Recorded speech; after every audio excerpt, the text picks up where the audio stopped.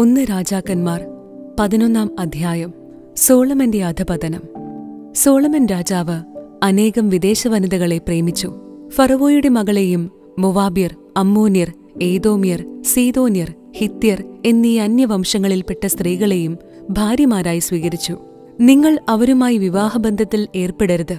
അവർ നിങ്ങളുമായും അവർ നിങ്ങളുടെ ഹൃദയങ്ങളെ തങ്ങളുടെ ദേവന്മാരിലേക്ക് വശീകരിച്ചു കളയും എന്ന് അവരെക്കുറിച്ച് കർത്താവ് അരുളി ചെയ്തിരുന്നു. സോളമനാകട്ടെ അവരെ ഗാഢമായി പ്രേമിച്ചു. അവന് രാജ്ഞിസ്ഥാനമുള്ള എഴുന്നൂറ് ഭാര്യമാരും മുന്നൂറ് ഉപനാരികളും ഉണ്ടായിരുന്നു. അവർ അവന്റെ ഹൃദയം വ്യതിചലിപ്പിച്ചു. സോളമന് വാർദ്ധക്യമായപ്പോൾ ഭാര്യമാർ അവന്റെ ഹൃദയത്തെ അന്യദേവന്മാരിലേക്ക് തിരിച്ചു. പിതാവായ ദാവീദ് ദൈവമായ കർത്താവിനോട് വിശ്വസ്തനായിരുന്നതുപോലെ അവൻ അവിടത്തോട് പരിപൂർണ വിശ്വസ്തത പാലിച്ചില്ല. സോളമൻ സീതോന്യരുടെ ദേവിയായ അസ്താർത്തയെയും അമ്മോന്യരുടെ മ്ലേച്ഛ വിഗ്രഹമായ മിൽക്കോമിനെയും ആരാധിച്ചു. അങ്ങനെ അവൻ കർത്താവിന്റെ മുൻപിൽ അനിഷ്ടം പ്രവർത്തിച്ചു. തന്റെ പിതാവായ ദാവിദിനെ പോലെ അവൻ കർത്താവിനെ പൂർണമായി അനുഗമിച്ചില്ല. അവൻ ജെറുസലേമിന് കിഴക്കുള്ള മലയിൽ മൊവാബിയുടെ മ്ലേച്ഛ വിഗ്രഹമായ കെമോഷിനും അമ്മോന്യരുടെ മ്ലേച്ഛ വിഗ്രഹമായ മോളക്കിനും പൂജാഗിരികൾ നിർമ്മിച്ചു. തങ്ങളുടെ ദേവന്മാർക്ക് ധൂപാർച്ചന നടത്തുകയും ബലി സമർപ്പിക്കുകയും ചെയ്തിരുന്ന എല്ലാ വിജാതീയ ഭാര്യമാർക്കും വേണ്ടി അവൻ അങ്ങനെ ചെയ്തു. രണ്ടു പ്രാവശ്യം പ്രത്യക്ഷനാവുകയും അന്യദേവന്മാരെ സേവിക്കരുതെന്ന് ആജ്ഞാപിക്കുകയും ചെയ്ത ഇസ്രായേലിന്റെ ദൈവമായ കർത്താവിൽ നിന്ന് അവൻ അകന്നു പോവുകയും അവിടുത്തെ കൽപ്പനകൾ പാലിക്കാതിരിക്കുകയും ചെയ്തതിനാൽ അവിടുന്ന് അവനോട് കോപിച്ചു. കർത്താവ് സോളമനോട് അരുളി ചെയ്തു നിന്റെ മനസ്സ് ഇങ്ങനെ തിരിയുകയും എന്റെ ഉടമ്പടിയും ഞാൻ നൽകിയ കൽപ്പനകളും പാലിക്കാതിരിക്കുകയും ചെയ്തതിനാൽ ഞാൻ രാജ്യം നിന്നിൽ നിന്ന് പറിച്ചെടുത്ത് നിന്റെ ദാസന് നൽകും. എന്നാൽ നിന്റെ പിതാവായ ദാവിദിനെ ഓർത്ത് നിന്റെ ജീവിതകാലത്ത് ഇത് ഞാൻ ചെയ്യുകയില്ല. നിന്റെ മകന്റെ കരങ്ങളിൽ നിന്ന് അത് ഞാൻ വേർപെടുത്തും. രാജ്യം മുഴുവനും എടുത്തുകളയുകയില്ല. എന്റെ ദാസനായ ദാവിദിനെയും ഞാൻ തിരഞ്ഞെടുത്ത ജെറുസലേമിനെയും ഓർത്ത് നിന്റെ പുത്രന് ഒരു ഗോത്രം നൽകും. കർത്താവ് ഏതോമ്യനായ ഹദാദിനെ സോളമിനെതിരായി തിരിച്ചുവിട്ടു. അവൻ ഏതോം രാജവംശത്തിൽപ്പെട്ടവനായിരുന്നു. ദാവീദ് ഏതോമിലായിരുന്നപ്പോൾ സേനാനായകൻ യോവാബ് യുദ്ധത്തിൽ കൊല്ലപ്പെട്ടവരെ സംസ്കരിക്കാൻ അങ്ങോട്ടു പോയി. ഏതോംകാരിൽ പുരുഷന്മാരെയെല്ലാം അവൻ വധിച്ചു. ഏതോമിലെ പുരുഷന്മാരെ കൊന്നൊടുക്കുന്നതുവരെ ആറുമാസക്കാലം യോവാബും ഇസ്രായേൽക്കാരും അവിടെ താമസിച്ചു. അക്കാലത്ത് ഹദാദും അവന്റെ പിതാവിന്റെ ദാസരായ ഏതോമിരിൽ ചിലരും ഈജിപ്തിലേക്ക് ഓടി രക്ഷപ്പെട്ടു. ഹദാദ് അന്ന് കൊച്ചുകുട്ടിയായിരുന്നു. മിതിയാനിൽ നിന്ന് പുറപ്പെട്ട അവർ പാരാനിലെത്തി. അവിടെ നിന്ന് ആളുകളെ ശേഖരിച്ച് ഈജിപ്ത് രാജാവായ ഫറവോയുടെ അടുത്ത് ചെന്നു. ഫറവോ അവനൊരു ഭവനവും കുറച്ച് സ്ഥലവും ഭക്ഷണവും കൊടുത്തു. ഹദാദ് ഫറവോയുടെ പ്രീതി സമ്പാദിച്ചു. ഫറവോ തന്റെ ഭാര്യയായ തഹഫനീസ് രാജ്ഞിയുടെ സഹോദരിയെ ഹദാദിന് ഭാര്യയായി കൊടുത്തു. ഹദാദിന് അവളിൽ ഖനുബാദ് എന്നൊരു മകനുണ്ടായി. മുലകുടി മാറുന്നതുവരെ തഹഫനേസ് അവനെ ഫറവോയുടെ കൊട്ടാരത്തിൽ വളർത്തി. അവൻ അവിടെ ഫറവോയുടെ പുത്രന്മാരോട് കൂടെ വസിച്ചു. ദാവീദ് തന്റെ പിതാക്കന്മാരോട് ചേർന്നുവെന്നും സേനാധിപനായ യോവാബ് മരിച്ചെന്നും ഹദാദ് ഈജിപ്തിൽ വെച്ച് കേട്ടു. അപ്പോൾ അവൻ ജന്മദേശത്തേക്ക് മടങ്ങിപ്പോകാൻ ഫറവോയോട് അനുവാദം ചോദിച്ചു. ഫറവോ പറഞ്ഞു എന്റെ അടുത്ത് എന്തു കുറവുണ്ടായിട്ടാണ് നീ സ്വദേശത്തേക്ക് പോകാൻ ആഗ്രഹിക്കുന്നത്? എന്നെ വിട്ടയച്ചാലും അവൻ വീണ്ടും അപേക്ഷിച്ചു. എലിയാദായുടെ മകൻ റസോണിനെയും ദൈവം സോളമന്റെ എതിരാളിയാക്കി. അവൻ തന്റെ യജമാനനും സോബായിലെ രാജാവുമായ ഹദദേസറിന്റെ അടുത്തുനിന്ന് ഒളിച്ചോടിപ്പോന്നവനാണ്. ദാവീദ് സോബാക്കാരെ സംഹരിച്ചപ്പോൾ റസോൺ ഒരു കവർച്ച സംഘം രൂപവൽക്കരിച്ച് അതിന്റെ തലവനായി. അവർ ദമാസ്കസിൽ പോയി താമസിക്കുകയും അവനെ ദമാസ്കസിലെ രാജാവാക്കുകയും ചെയ്തു. സോളമന്റെ കാലം മുഴുവനും അവൻ ഹദാദിനെ പോലെ ദുഷ്കൃത്യങ്ങൾ ചെയ്ത് ഇസ്രായേലിന്റെ ശത്രുവായി ജീവിച്ചു. അവൻ ഇസ്രായേലിനെ വെറുത്തുകൊണ്ട് സിറിയായിൽ ഭരണം നടത്തി. സോളമന്റെ ഭൃത്യനും സെറേദായിലെ എഫ്രായിമ്യനായ നെബാത്തിന്റെ മകനുമായ ജെറോബോവാം അവന്റെ അമ്മ സെരൂവ എന്ന വിധവയായിരുന്നു. രാജാവിനെതിരെ കരമുയർത്തി. അവൻ രാജാവിനെതിരായി പ്രവർത്തിക്കാൻ കാരണമിതാണ് സോളമൻ മില്ലോ പണിയുകയും തന്റെ പിതാവായ ദാവിദിന്റെ നഗരത്തിലുണ്ടായിരുന്ന അറ്റകുറ്റങ്ങൾ തീർക്കുകയും ചെയ്തു. ജെറോബോവാം വളരെ കഴിവുള്ളവനായിരുന്നു. പരിശ്രമശാലിയായ അവനെ സോളമൻ ജോസഫിന്റെ ഭവനത്തിലെ അടിമവേലയുടെ മേൽനോട്ടക്കാരനാക്കി. ഒരു ദിവസം ജൊറോബോവാം ജെറുസലേമിൽ നിന്ന് പുറത്തു പുറത്തുപോകവേ ഷീലോനിനായ അഹിയ പ്രവാചകൻ അവനെ കണ്ടുമുട്ടി. അഹിയ ഒരു പുതിയ അങ്കി ധരിച്ചിരുന്നു. ആ വെളിംപ്രദേശത്ത് അവർ ഇരുവരും മാത്രമേ ഉണ്ടായിരുന്നുള്ളൂ. അഹിയ താൻ ധരിച്ചിരുന്ന പുതിയ അങ്കിയെടുത്ത് പന്ത്രണ്ട് കഷണങ്ങളായി കീറി. അവൻ ജെറോബോവാമിനോട് പറഞ്ഞു പത്തു കഷണം നീ എടുത്തുകൊള്ളുക. ഇസ്രായേലിന്റെ ദൈവമായ കർത്താവ് അരുളി ചെയ്യുന്നു ഞാൻ സോളമന്റെ കയ്യിൽ നിന്ന് രാജ്യമെടുത്ത് പത്ത് ഗോത്രങ്ങൾ നിനക്കു തരും. എന്റെ ദാസനായ ദാവിദിനെ ഓർത്തും ഇസ്രായേലിലെ എല്ലാ ഗോത്രങ്ങളിലും നിന്ന് ഞാൻ തിരഞ്ഞെടുത്ത ജെറുസലേം നഗരത്തെ ഓർത്തും അവന് ഒരു ഗോത്രം നൽകും. അവൻ എന്നെ മറന്ന് സീതോന്യരുടെ ദേവി അസ്താർത്തയെയും മൊവാബിയുടെ ദേവനായ കെമോഷിനെയും അമ്മോന്യരുടെ ദേവനായ മിൽക്കോമിനെയും ആരാധിച്ചു.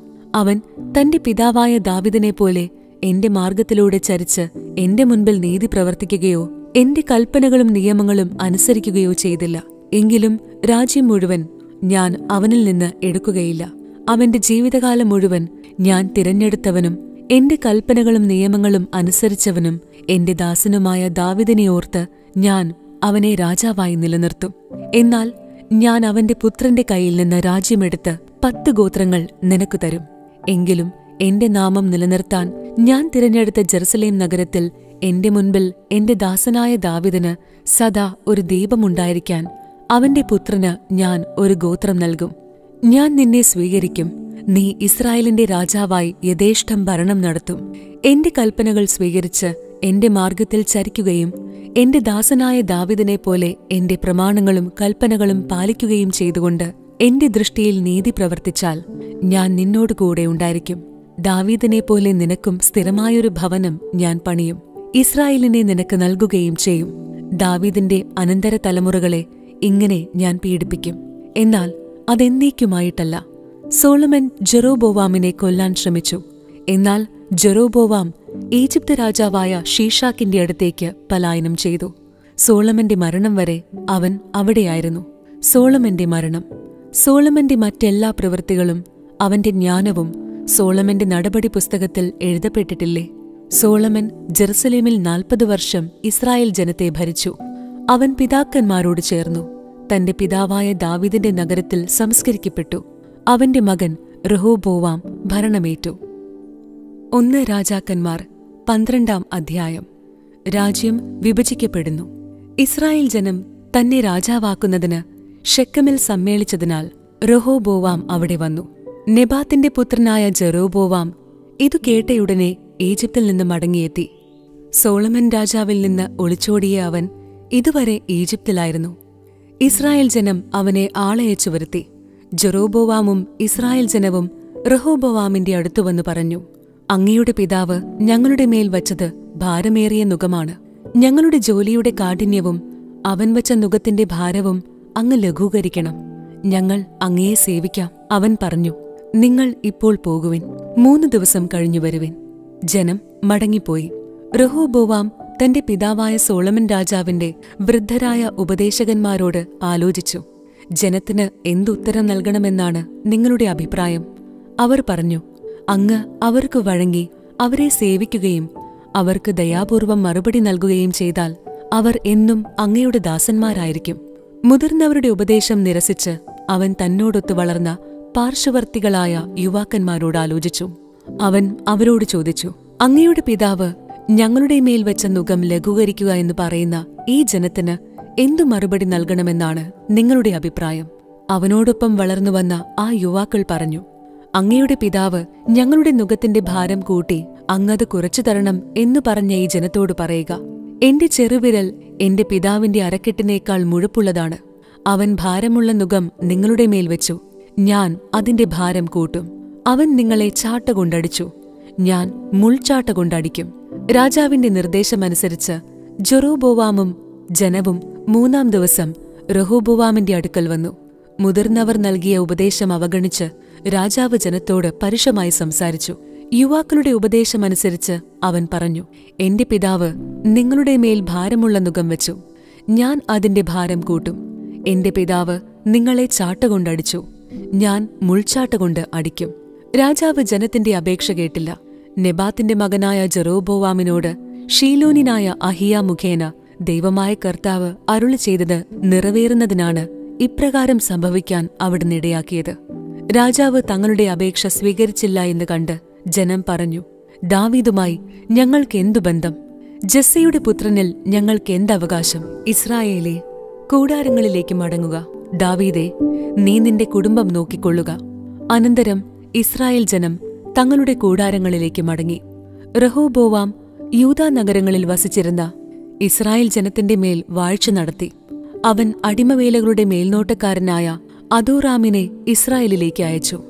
ഇസ്രായേൽ ജനം അവനെ കല്ലെറിഞ്ഞു കൊന്നു ജെറുസലേമിലേക്ക് പലായനം ചെയ്യാൻ റൊഹോബോവാം രാജാവ് അതിവേഗം തന്റെ രഥത്തിൽ കയറി. അങ്ങനെ ഇസ്രായേൽ ദാവീദിന്റെ ഭവനത്തോട് ഇന്നും കലഹത്തിലാണ്. ജെറോബോവാം മടങ്ങിവന്നെന്ന് കേട്ടപ്പോൾ ഇസ്രായേൽ ജനം ഒരുമിച്ചുകൂടി അവനെ വരുത്തി ഇസ്രായേലിന്റെ രാജാവാക്കി. യൂതായുടെ ഗോത്രമൊഴികെ മറ്റൊന്നും ദാവീദിന്റെ ഭവനത്തെ അനുഗമിച്ചില്ല. സോളമന്റെ പുത്രൻ റഹോബോവാം ജെറുസലേമിൽ നിന്ന് ഇസ്രായേലിനോട് യുദ്ധം ചെയ്ത് രാജ്യം വീണ്ടെടുക്കാൻ യൂതായുടെയും ബെഞ്ചമിന്റെയും ഗോത്രങ്ങളിൽ നിന്ന് യുദ്ധവീരന്മാരായ ഒരു ലക്ഷത്തി എൺപതിനായിരം പേരെ ശേഖരിച്ചു. എന്നാൽ പ്രവാചകനായ ഷെമായായോട് ദൈവം അരുളി ചെയ്തു. യൂതായിലെ രാജാവും സോളമിന്റെ മകനുമായ റഹോബോവാമിനോടും യൂതായുടെയും ബെഞ്ചമിന്റെയും ഭവനങ്ങളോടും മറ്റു ജനത്തോടും പറയുക കർത്താവ് അരുളി ചെയ്യുന്നു നിങ്ങൾ മുൻപോട്ടു പോകരുത്. നിങ്ങളുടെ സഹോദരരായ ഇസ്രായേൽ ജനത്തോട് യുദ്ധം ചെയ്യരുത്. വീടുകളിലേക്ക് മടങ്ങുവിൻ. ഞാനാണ് ഇതു പറയുന്നത്. കർത്താവിന്റെ വാക്കുകേട്ട് അവർ മടങ്ങിപ്പോയി. ജെറോബോവാം കർത്താവിൽ നിന്ന് അകലുന്നു. ജെറോബോവാം എഫ്രായിം മലനാട്ടിൽ ഷെക്കും ബലിഷ്ടമാക്കി അവിടെ വസിച്ചു. പിന്നീട് അവിടെ നിന്ന് പോയി പെനുവേലും ബലിഷ്ടമാക്കി അവൻ ആത്മഗതം ചെയ്തു. ദാവീദിന്റെ ഭവനത്തിലേക്ക് രാജ്യം തിരികെ പോകും. ഈ ജനം ജെറുസലേമിൽ കർത്താവിന്റെ ഭവനത്തിൽ ബലിയർപ്പിക്കാൻ പോയാൽ യൂദാ രാജാവായ റഹൂബോവാമിന്റെ നേർക്ക് അവരുടെ മനസ്സ് തിരിയുകയും അവർ എന്നെ വധിച്ചതിനു ശേഷം അവനെ അനുഗമിക്കുകയും ചെയ്യും. അതിനാൽ രാജാവ് ഒരു ഉപായം കണ്ടുപിടിച്ചു. സ്വർണം കൊണ്ട് രണ്ട് കാളക്കുട്ടികളെ നിർമ്മിച്ചിട്ട് അവൻ ജനത്തോട് പറഞ്ഞു നിങ്ങൾ ജെറുസലേമിലേക്ക് പോകേണ്ട. ഇസ്രായേൽ ജനമേ ഇതാ ഈജിപ്തിൽ നിന്ന് നിങ്ങളെ മോചിപ്പിച്ച ദേവന്മാർ. അവൻ അവയിലൊന്നിനെ ബത്തേലിലും ഒന്നിനെ ദാനിലും പ്രതിഷ്ഠിച്ചു. ഇത് പാപമായി തീർന്നു. ബത്തേലിലെയും ദാനിലെയും പ്രതിഷ്ഠകളുടെ അടുത്തേക്ക് ജനം പോയിക്കൊണ്ടിരുന്നു. അവൻ പൂജാഗിരികൾ ഉണ്ടാക്കി ലേവി ഗോത്രത്തിൽപ്പെടാത്തവരെ പുരോഹിതന്മാരാക്കി. യൂതായിൽ ആഘോഷിച്ചിരുന്ന തിരുനാളിന് തുല്യമായി ജെറോബോവാം എട്ടാം മാസം പതിനഞ്ചാം ദിവസം ഒരു ഉത്സവം ഏർപ്പെടുത്തി. ബലിപീഠത്തിൽ അവൻ ബലികളർപ്പിച്ചു താൻ നിർമ്മിച്ച കാളക്കുട്ടികൾക്ക് ബത്തേലിൽ അവൻ ഇപ്രകാരം ബലിയർപ്പിച്ചു. പൂജാഗിരികളിൽ നിയമിച്ചിരുന്ന പുരോഹിതന്മാരെ ബത്തേലിൽ നിയമിച്ചു. അവൻ എട്ടാം മാസം പതിനഞ്ചാം ദിവസം സ്വാഭീഷ്ടപ്രകാരം നിശ്ചയിച്ച ദിവസം ജനത്തിന് ഒരു ഉത്സവം ഏർപ്പെടുത്തുകയും ബത്തേലിൽ താൻ പണിയിച്ച ബലിപീഠത്തിൽ ധൂപാർച്ചന നടത്തുന്നതിന് ചെല്ലുകയും ചെയ്തു. ഒന്ന് രാജാക്കന്മാർ പതിമൂന്നാം അധ്യായം. ബത്തേലിനെതിരെ പ്രവചനം. ജെറോബോവാം ധൂപാർപ്പണത്തിന് ബലിപീഠത്തിനരികെ നിൽക്കുമ്പോൾ കർത്താവിന്റെ കൽപ്പനയനുസരിച്ച് ഒരു ദൈവപുരുഷൻ യൂതായിൽ നിന്ന് ബത്തേലിൽ വന്നു. കർത്താവ് കൽപ്പിച്ചതുപോലെ അവൻ ബലിപീഠത്തെ നോക്കി വിളിച്ചു പറഞ്ഞു അല്ലയോ ബലിപീഠമേ കർത്താവ് അരുളി ചെയ്യുന്നു ദാവിദിന്റെ ഭവനത്തിൽ ജോസിയ എന്ന ഒരു പുത്രൻ ജനിക്കും. നിന്റെ മേൽ ധൂപാർപ്പണം നടത്തുന്ന പൂജാഗിരിയിലെ പുരോഹിതന്മാരെ അവൻ നിന്റെ മേൽ വച്ച് ബലിയർപ്പിക്കും. മനുഷ്യാസ്ഥികൾ നിന്റെ മേൽ ഹോമിക്കും. അന്നു തന്നെ ഒരടയാളം കാണിച്ചുകൊണ്ട് അവൻ തുടർന്നു. കർത്താവാണ് സംസാരിച്ചത് എന്നതിന്റെ അടയാളം ഇതാണ്. ഇതാ ഈ ബലിപീഠം പിളർന്ന് അതിന്മേലുള്ള ചാരം ഊർന്നു വീഴും. ദൈവപുരുഷൻ ബത്തേലിലെ ബലിപീഠത്തിനെതിരെ പ്രഖ്യാപിച്ചത് കേട്ട് ജെറോബോവാം പീഠത്തിനരികെ നിന്ന് കൈനീട്ടിക്കൊണ്ട് അവനെ പിടിക്കാൻ കൽപ്പിച്ചു. അപ്പോൾ അവന്റെ കരം മരവിച്ച് മടക്കാൻ കഴിയാതെയായി. കർത്താവിന്റെ കൽപ്പനയാൽ ദൈവപുരുഷൻ കൊടുത്ത അടയാളമനുസരിച്ച് ബലിപീഠം പിളർന്ന് ചാരം ഊർന്നു വീണു. രാജാവ് അവനോട് പറഞ്ഞു നിന്റെ ദൈവമായ കർത്താവിനോട് എനിക്കു വേണ്ടി ദയവായി പ്രാർത്ഥിക്കുക. അവിടുന്ന് എന്റെ കരം സുഖപ്പെടുത്തട്ടെ. അവൻ കർത്താവിനോട് പ്രാർത്ഥിച്ചു. രാജാവിന്റെ കരം പഴയപടിയായി. രാജാവ് അവനോട് പറഞ്ഞു നീ എന്നോട് കൂടെ കൊട്ടാരത്തിൽ വന്ന് സൽക്കാരം സ്വീകരിക്കുക. ഞാൻ നിനക്ക് ഒരു സമ്മാനം തരാം. അവൻ പ്രതിവചിച്ചു നിന്റെ കൊട്ടാരത്തിന്റെ പകുതി തന്നാലും ഞാൻ വരികയില്ല. ഇവിടെ വെച്ച് ഞാൻ ഭക്ഷണപാനീയങ്ങൾ കഴിക്കുകയില്ല. ഭക്ഷണപാനീയങ്ങൾ കഴിക്കുകയോ പോയ വഴി മടങ്ങുകയോ ചെയ്യരുതെന്ന് കർത്താവ് എന്നോട് കൽപ്പിച്ചിട്ടുണ്ട്. അവൻ ബത്തേലിൽ നിന്ന് വന്ന വഴിയല്ലാതെ മറ്റൊരു വഴിക്ക് മടങ്ങിപ്പോയി. അക്കാലത്ത് ബത്തേലിൽ ഒരു വൃദ്ധ പ്രവാചകനുണ്ടായിരുന്നു അവന്റെ പുത്രന്മാർ വന്ന് ദൈവപുരുഷൻ ചെയ്ത കാര്യങ്ങളും രാജാവിനോട് പറഞ്ഞ വിവരങ്ങളും പിതാവിനെ അറിയിച്ചു. അവൻ അവരോട് ചോദിച്ചു ഏതു വഴിക്കാണ് അവൻ പോയത്? യൂതായിൽ നിന്നുള്ള ദൈവപുരുഷൻ പോയ വഴി പുത്രന്മാർ അവന് കാട്ടിക്കൊടുത്തു. അവൻ അവരോട് പറഞ്ഞു നിങ്ങൾ കഴുതയ്ക്ക് ജീനിയിടുവിൻ. അവർ ജീനിയിട്ടു. അവൻ കഴുത കഴുതപ്പുറത്ത് കയറി. ദൈവപുരുഷൻ പോയ വഴിയെ അവൻ തിരിച്ചു. ഒരു ഓക്ക് വൃക്ഷത്തിന്റെ ചുവട്ടിൽ അവൻ ഇരിക്കുന്നത് കണ്ടു ചോദിച്ചു അങ്ങാണോ യൂതായിൽ നിന്ന് വന്ന ദൈവപുരുഷൻ? ഞാൻ തന്നെ. അവൻ പ്രതിവചിച്ചു. അങ്ങ് എന്നോടൊപ്പം വീട്ടിൽ വന്ന് ഭക്ഷണം കഴിക്കുക എന്ന് അവൻ ദൈവപുരുഷനോട് പറഞ്ഞു. അവൻ പ്രതിവചിച്ചു. എനിക്ക് അങ്ങയോട് കൂടെ വരാനോ വീട്ടിൽ കയറാനോ ഇവിടെ വെച്ച് ഭക്ഷണപാനീയങ്ങൾ കഴിക്കാനോ പാടില്ല. ഭക്ഷണപാനീയങ്ങൾ കഴിക്കുകയോ പോയ വഴി മടങ്ങുകയോ ചെയ്യരുത് എന്ന് കർത്താവ് എന്നോട് കൽപ്പിച്ചിട്ടുണ്ട്. വൃദ്ധൻ പറഞ്ഞു ഞാനും നിന്നെപ്പോലെ ഒരു പ്രവാചകനാണ്. ദൂതൻ വഴി കർത്താവ് എന്നോട് കൽപ്പിച്ചിരിക്കുന്നു. ഭക്ഷണം കഴിക്കാൻ അവനെ നീ വീട്ടിൽ കൊണ്ടുവരിക. അവൻ പറഞ്ഞത് വ്യാജമായിരുന്നു. ദൈവപുരുഷൻ അവനോടൊപ്പം വീട്ടിൽ ചെന്ന് ഭക്ഷണപാനീയങ്ങൾ കഴിച്ചു. അവർ ഭക്ഷണത്തിനിരിക്കുമ്പോൾ ദൈവപുരുഷനെ വിളിച്ചുകൊണ്ടുവന്ന പ്രവാചകന് കർത്താവിന്റെ അരുളപ്പാടുണ്ടായി. അവൻ യൂതായിൽ നിന്ന് വന്ന ദൈവപുരുഷനോട് ഉച്ചത്തിൽ പറഞ്ഞു നീ കർത്താവിന്റെ വചനം ശ്രവിച്ചില്ല. കർത്താവായ ദൈവം നിന്നോട് കൽപ്പിച്ചതുപോലെ നീ പ്രവർത്തിച്ചതുമില്ല. നീ തിരിച്ചു വരികയും ഭക്ഷണപാനീയങ്ങൾ കഴിക്കരുതെന്ന് അവിടുന്ന് കൽപ്പിച്ചിരുന്ന സ്ഥലത്ത് വച്ച് നീ ഭക്ഷിക്കുകയും ചെയ്തു. അതുകൊണ്ട് നിന്റെ ജഡം നിന്റെ പിതാക്കന്മാരോട് കൂടെ സംസ്കരിക്കപ്പെടുകയില്ലെന്ന് കർത്താവ് അരുളി ചെയ്യുന്നു. ഭക്ഷണത്തിനു ശേഷം അവൻ താൻ കൂട്ടിക്കൊണ്ടുവന്ന ദൈവപുരുഷനു വേണ്ടി കഴുതയ്ക്ക് ജീനിയിട്ടു. മാർഗമധ്യേ ഒരു സിംഹം എതിരെ വന്ന് അവനെ കൊന്നു. ജഡത്തിനരികെ സിംഹവും കഴുതയും നിന്നു. വഴിപോക്കർ നിരത്തിൽ കിടക്കുന്ന ജഡവും അരികിൽ നിൽക്കുന്ന സിംഹത്തെയും കണ്ടു. അവർ വൃദ്ധപ്രവാചകൻ വസിക്കുന്ന പട്ടണത്തിൽ ചെന്ന് വിവരമറിയിച്ചു. അവനെ കൂട്ടിക്കൊണ്ടുവന്ന പ്രവാചകൻ ഇതു കേട്ടു പറഞ്ഞു കർത്താവിന്റെ കൽപ്പന ലംഘിച്ച ദൈവപുരുഷൻ തന്നെ അവൻ. കർത്താവ് അരുളി ചെയ്തതുപോലെ അവനെ സിംഹത്തിന് വിട്ടുകൊടുക്കുകയും അത് അവനെ ചീന്തിക്കളയുകയും ചെയ്തു. അവൻ മക്കളോട് പറഞ്ഞു കഴുതയ്ക്ക് ജീനിയിടുവിൻ അവർ അങ്ങനെ ചെയ്തു. അവൻ ചെന്ന് ദൈവപുരുഷന്റെ ജഡം വഴിയിൽ കിടക്കുന്നതും അതിനരികെ കഴുതയും സിംഹവും നിൽക്കുന്നതും കണ്ടു. സിംഹം ജഡം ഭക്ഷിക്കുകയോ കഴുതയെ ആക്രമിക്കുകയോ ചെയ്തില്ല. ദുഃഖാചരണത്തിനും സംസ്കാരത്തിനുമായി വൃദ്ധപ്രവാചകൻ ജഡം കഴുതപ്പുറത്ത് വെച്ച് പട്ടണത്തിൽ കൊണ്ടുവന്നു. അവൻ തന്റെ സ്വന്തം കല്ലറയിൽ അവനെ സംസ്കരിച്ചു. അയ്യോ സഹോദര എന്ന് വിളിച്ച് അവർ വിലപിച്ചു. അനന്തരം അവൻ പുത്രന്മാരോട് പറഞ്ഞു ഞാൻ മരിക്കുമ്പോൾ ദൈവപുരുഷനെ അടക്കിയ കല്ലറയിൽ തന്നെ എന്നെയും സംസ്കരിക്കണം. എന്റെ അസ്ഥികൾ അവന്റെ അസ്ഥികൾക്കരികെ നിക്ഷേപിക്കുക. ബത്തേലിലെ ബലിപീഠത്തിനും സമരിയായിലെ പട്ടണങ്ങളിലുള്ള പൂജാഗിരികൾക്കും എതിരായി കർത്താവിന്റെ കൽപ്പന പോലെ അവൻ പറഞ്ഞ കാര്യങ്ങൾ നിശ്ചയമായും സംഭവിക്കും. ജെറോബോവാം അധർമ്മത്തിൽ നിന്ന് പിന്തിരിഞ്ഞില്ല. എല്ലാ ജനവിഭാഗങ്ങളിലും നിന്ന് പൂജാഗിരികളിൽ പുരോഹിതന്മാരെ നിയമിച്ചു. ആഗ്രഹിച്ചവരെയൊക്കെ അവൻ പുരോഹിതന്മാരാക്കി. ഭൂമുഖത്ത് നിന്ന് നിർമാർജനം ചെയ്യപ്പെടത്തക്ക വിധം ജെറോബോവാമിന്റെ ഭവനത്തിന് ഇത് പാപമായി തീർന്നു. ഒന്ന് രാജാക്കന്മാർ പതിനാലാം അധ്യായം. ജെറൂബോവാമിന് ശിക്ഷ. അക്കാലത്ത് ജെറൂബോവാമിന്റെ മകൻ അബിയ രോഗബാധിതനായി. ജെറോബോവാം ഭാര്യയോട് പറഞ്ഞു നീ എഴുന്നേറ്റ് എന്റെ ഭാര്യയാണെന്നറിയാത്ത വിധം വേഷം മാറി ഷീലോയിലേക്ക് പോവുക. ഈ ജനത്തിന് ഞാൻ രാജാവായിരിക്കണമെന്ന് പറഞ്ഞ അഹിയ പ്രവാചകൻ അവിടെയുണ്ട്. പത്ത് അപ്പവും കുറെ അടയും ഒരു ഭരണി തേനുമായി നീ അവന്റെ അടുക്കൽ ചെല്ലുക. കുട്ടിക്ക് എന്ത് സംഭവിക്കുമെന്ന് അവൻ പറയും. അങ്ങനെ അവൾ ഷീലോയിൽ അഹിയായുടെ വസതിയിലെത്തി. വാർദ്ധക്യം നിമിത്തം കണ്ണു മങ്ങിയിരുന്നതിനാൽ അവന് കാണാൻ സാധിച്ചില്ല. ജെറോബോവാമിന്റെ ഭാര്യ തന്റെ രോഗിയായ പുത്രനെക്കുറിച്ച് ചോദിക്കാൻ വരുന്നെന്നും അവളോട് എന്തു പറയണമെന്നും കർത്താവ് അഹിയായെ അറിയിച്ചു. വേറൊരുവളായി ഭാവിച്ചുകൊണ്ടാണ് അവൾ ചെന്നത്. എന്നാൽ അവൾ വാതിൽ കടന്നപ്പോൾ കാൽപെരുമാറ്റം കേട്ടിട്ട് അഹിയ പറഞ്ഞു ജെറൂബോവാമിന്റെ ഭാര്യ അകത്തു വരൂ. നീ വേറൊരുവളായി നടിക്കുന്നതെന്തിന്? ദുസ്സഹമായ വാർത്ത നിന്നെ അറിയിക്കാൻ ഞാൻ നിയുക്തനായിരിക്കുന്നു. നീ ചെന്ന് ജെറോബോവാമിനോട് പറയുക ഇസ്രായേലിന്റെ ദൈവമായ കർത്താവ് അരുളി ചെയ്യുന്നു. ഞാൻ ജനത്തിന്റെ ഇടയിൽ നിന്ന് നിന്നെ ഉയർത്തി. എന്റെ ജനമായ ഇസ്രായേലിന്റെ നായകനാക്കി. ദാവീദിന്റെ ഭവനത്തിൽ നിന്ന് രാജ്യം പറിച്ചെടുത്ത് ഞാൻ നിനക്ക് തന്നു. നീയാകട്ടെ എന്റെ കൽപ്പനകൾ അനുസരിക്കുകയും എന്റെ ദൃഷ്ടിയിൽ നീതി മാത്രം ചെയ്ത് പൂർണ ഹൃദയത്തോടെ എന്നെ അനുഗമിക്കുകയും ചെയ്ത എന്റെ ദാസൻ ദാവിദിനെ പോലെയല്ല. മാത്രമല്ല നിന്റെ മുൻഗാമികളേക്കാൾ അധികം തിന്മ നീ പ്രവർത്തിച്ചു.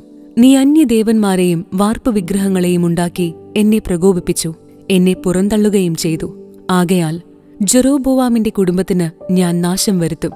ഇസ്രായേലിൽ ജെറോബോവാമിനുള്ള അടിമകളും സ്വതന്ത്രരുമായ പുരുഷന്മാരെയെല്ലാം ഞാൻ വിച്ഛേദിക്കും. ജെറോബോവാമിന്റെ കുടുംബത്തെ ചപ്പുചവറുകൾ എരിച്ചു കളയുന്നതുപോലെ ഞാൻ പൂർണമായും നശിപ്പിക്കും. ജെറോബോവാമിന്റെ ബന്ധുക്കളിൽ ആരെങ്കിലും പട്ടണത്തിൽ വെച്ച് മരിച്ചാൽ അവരെ നായ്ക്കളും വെളിമ്പ്രദേശത്തു വെച്ച് മരിച്ചാൽ ആകാശത്തിലെ പറവകളും ഭക്ഷിക്കും. കർത്താവാണ് ഇത് അരുളി ചെയ്തത്. എഴുന്നേറ്റ് വീട്ടിൽ പോവുക. നീ പട്ടണത്തിൽ കാലുകുത്തുമ്പോൾ കുട്ടി മരിക്കും. ഇസ്രായേൽ ജനം ദുഃഖം ആചരിക്കുകയും അവനെ സംസ്കരിക്കുകയും ചെയ്യും. ജെറോബോവാമിന്റെ കുടുംബത്തിൽ അവൻ മാത്രമേ കല്ലറയിൽ സംസ്കരിക്കപ്പെടുകയുള്ളൂ. എന്തെന്നാൽ ഇസ്രായേലിന്റെ ദൈവമായ കർത്താവ് ജെറോബോവാമിന്റെ സന്തതികളിൽ അവനിൽ മാത്രം അല്പം നന്മ കണ്ടിരുന്നു. കർത്താവ് ഇസ്രായേലിൽ ഒരു രാജാവിനെ ഉയർത്തും. അവൻ ജെറോബോവാമിന്റെ ഭവനത്തെ ഉന്മൂലനം ചെയ്യും. ഇസ്രായേൽ അഷേര പ്രതിഷ്ഠകൾ സ്ഥാപിച്ച് കർത്താവിനെ പ്രകോപിപ്പിച്ചതിനാൽ വെള്ളത്തിൽ ഞാങ്ങണ ആടുന്നതുപോലെ അവിടുന്ന് അവരെ അടിച്ച് ഉലയ്ക്കുകയും താൻ അവരുടെ പിതാക്കന്മാർക്ക് നൽകിയ ഈ നല്ല ദേശത്തുനിന്ന് അവരെ ഉന്മൂലനം ചെയ്ത് യൂഫ്രട്ടീസ് നദിക്കപ്പുറം ചിതറിച്ചു കളയുകയും ചെയ്യും. പാപം സ്വയം ചെയ്യുകയും ഇസ്രായേലിനെ കൊണ്ട് ചെയ്യിക്കുകയും ചെയ്ത ജെറോബോവാം നിമിത്തം കർത്താവ് ഇസ്രായേലിനെ കൈവെടിയും. ജെറോബോവാമിന്റെ ഭാര്യ തിർസായിലേക്ക് മടങ്ങി. അവൾ കൊട്ടാരത്തിന്റെ പൂമുഖത്തെത്തിയപ്പോൾ കുട്ടി മരിച്ചു. കർത്താവ് തന്റെ ദാസനായ അഹിയ പ്രവാചകനിലൂടെ അരുളി ചെയ്തതുപോലെ ഇസ്രായേൽ ജനം അവനെ സംസ്കരിച്ച് ദുഃഖം ആചരിച്ചു. ജെറോബോവാമിന്റെ മരണം. ജെറോബോവാമിന്റെ യുദ്ധങ്ങളും ഭരണവും ഉൾപ്പെടെയുള്ള മറ്റു വിവരങ്ങൾ ഇസ്രായേൽ രാജാക്കന്മാരുടെ ദിനവൃത്താന്തത്തിൽ രേഖപ്പെടുത്തിയിട്ടുണ്ട്. ജെറോബോവാം ഇരുപത്തിരണ്ട് വർഷം രാജ്യം ഭരിച്ചു. അവൻ പിതാക്കന്മാരോട് ചേർന്നു. മകൻ നാദാബ് രാജാവായി. യൂദാ രാജാക്കന്മാർ റഹോബോവാം. സോളമന്റെ മകൻ റഹോബോവാമാണ് യൂതായിൽ വാണിരുന്നത്. ഭരണമേൽക്കുമ്പോൾ അവന് നാൽപ്പത്തൊന്ന് വയസ്സായിരുന്നു. കർത്താവ് ഇസ്രായേൽ ഗോത്രങ്ങളിൽ നിന്ന് തനിക്കായി തിരഞ്ഞെടുത്ത ജെറുസലേം നഗരത്തിൽ അവൻ പതിനേഴ് വർഷം ഭരിച്ചു. അവന്റെ അമ്മ അമ്മോന്യ സ്ത്രീയായ നാമ ആയിരുന്നു. യൂത കർത്താവിന്റെ മുൻപിൽ തിന്മ പ്രവർത്തിച്ചു. അവർ പാപം ചെയ്ത് തങ്ങളുടെ പിതാക്കന്മാരെക്കാൾ കൂടുതൽ അവിടുത്തെ പ്രകോപിപ്പിച്ചു. അവർ പൂജാഗിരികളും സ്തംഭങ്ങളും ഉണ്ടാക്കി. എല്ലാ കുന്നുകളുടെയും മുകളിലും എല്ലാ വൃക്ഷങ്ങളുടെയും ചുവട്ടിലും അഷേരാ പ്രതിഷ്ഠകൾ സ്ഥാപിക്കുകയും ചെയ്തു. ദൈവപ്രീതിക്ക് വേണ്ടിയുള്ള ആൺവേഷ സമ്പ്രദായവും അവിടെയുണ്ടായിരുന്നു കർത്താവ് ഇസ്രായേൽ ജനത്തിന്റെ മുൻപിൽ നിന്ന് ആട്ടിയകറ്റിയ ജനതകളുടെ എല്ലാ മ്ലേച്ഛതകളിലും അവർ മുഴുകി. റഹുബോവാമിന്റെ വാഴ്ചയുടെ അഞ്ചാം വർഷം ഈജിപ്തിലെ രാജാവായ ഷീഷാഖ് ജെറുസലേമിനെ ആക്രമിച്ചു. ദേവാലയത്തിലെയും കൊട്ടാരത്തിലെയും നിധികളും സോളമൻ നിർമ്മിച്ച സുവർണ പരിചകളും അവൻ കവർന്നെടുത്തു. എല്ലാം അവൻ കൊണ്ടുപോയി. റഹോബോവാം അവയ്ക്കു പകരം ഓട്ടുപരിചകൾ നിർമ്മിച്ച് കൊട്ടാരത്തിലെ കാവൽ പടത്തലവന്മാരെ ഏൽപ്പിച്ചു. രാജാവ് ദേവാലയം സന്ദർശിക്കുമ്പോഴെല്ലാം അകമ്പടിക്കാർ അവ വഹിക്കുകയും പിന്നീട് കാൽപുരയിലേക്ക് തിരികെ കൊണ്ടുവരികയും ചെയ്തു പോന്നു. റഹോബോവാം ചെയ്ത മറ്റു കാര്യങ്ങൾ യൂതാരാജാക്കന്മാരുടെ ദിനവൃത്താന്തത്തിൽ രേഖപ്പെടുത്തിയിട്ടുണ്ടല്ലോ. റഹോബോവാമും ജെറോബോവാമും നിരന്തരം പൊരുതിക്കൊണ്ടിരുന്നു. റഹോബോവാം മരിച്ച് തന്റെ പിതാക്കന്മാരോടുകൂടെ ദാവിദിന്റെ നഗരത്തിൽ സംസ്കരിക്കപ്പെട്ടു. അമ്മോനിയായ നാമ ആയിരുന്നു അവന്റെ അമ്മ. അവന്റെ മകൻ അബിയാം ഭരണമേറ്റു.